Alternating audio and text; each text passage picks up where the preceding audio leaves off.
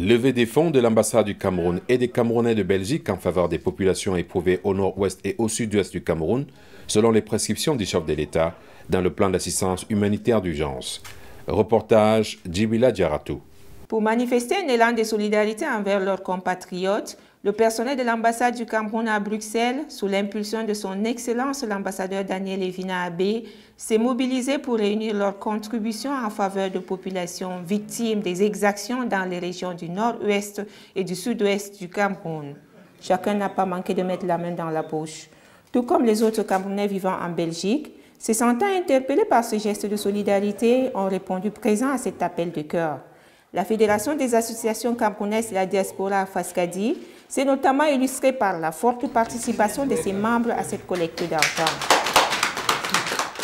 Nous avons pu rassembler la somme de 1600 euros et je me remercie particulièrement les membres du bureau de Fascadi qui ont travaillé d'arrache-pied pour motiver les familles, motiver tous les membres de la diaspora pour venir en aide et répondre massivement à cet élan de solidarité.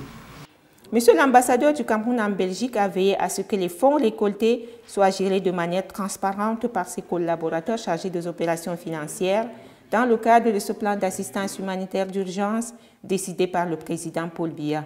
Nous pouvions recueillir l'argent de deux manières, soit directement en espèces auprès euh, du responsable de l'ambassade qui recueillait les fonds, soit par virement dans le compte de l'ambassade. Ceux qui procédaient au virement ou au paiement en espèces recevait un reçu, puis une quittance pour l'acheminement de l'argent qui a été mobilisé ici à, Bruxelles. Et cet acheminement va se faire à travers la perception de l'ambassade du Cameroun vers le compte dédié à Yaoundé. Les Camerounais peuvent encore passer à l'ambassade, déposer leur contribution.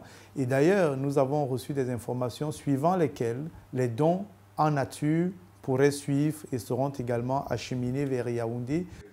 Rappelons qu'une mobilisation pareille s'était effectuée lorsque Boko Haram faisait encore fureur dans la région de l'extrême nord.